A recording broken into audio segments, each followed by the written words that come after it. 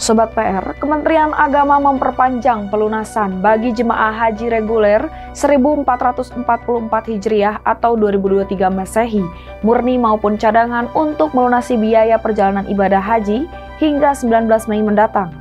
Untuk Jawa Barat, Kantor Wilayah Kemenag Jabar mencatat masih terdapat 4.460 jemaah reguler murni yang belum melunasi BP Adapun setelah diidentifikasi dari ribuan angka tersebut dilatar belakangi berbagai hal. Di antaranya terdapat 820 data calon jemaah haji reguler yang alamatnya tidak ditemukan. Kemudian ada 441 calon jemaah haji yang sakit sehingga belum melunasi BP.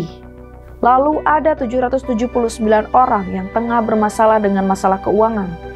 909 calon jemaah haji yang mempertimbangkan karena tidak berangkat bersama pendamping atau pasangan dan sisanya ada 987 calon jemaah haji yang belum siap mental untuk berangkat. Hal itu dikemukakan Kepala Kanwil Kemenak Jabar, Ajam Mustajam pada diskusi Gaspol PWI Pokja di Gedung Sate Kota Bandung Selasa, 16 Mei 2023.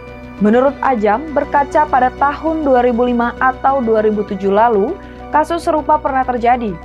Sebanyak 625 data tidak ditemukan alamatnya, sehingga pemerintah harus mencabut data atau membatalkan KTP calon jemaah haji yang berhak berangkat di tahun itu, untuk kemudian diberikan pada jemaah cadangan.